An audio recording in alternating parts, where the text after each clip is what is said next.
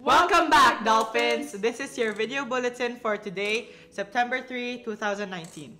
And to the new students and freshmen, welcome to Marianas High School. Please treat each other with respect. With that being said, here are some tips for high school. Keep working hard on your assignments, hard work pays off. You can still sign up for lunch passes. This is only available to juniors and seniors.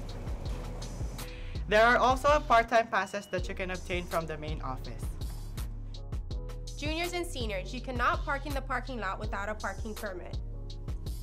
For those who have not taken their student ID, please come to D103 during lunch only. To all the freshmen who want to run for class office, you can pick up your forms at E201 or Mr. Orsini's class.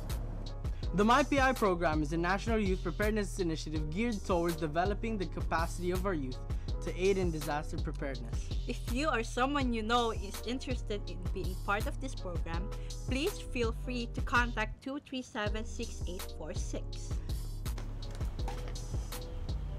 Seattle University is visiting the campus on September 16, 2019. Their presentation takes place at the new MHS CAF from 9 to 10 a.m. For more information, check the MHS website.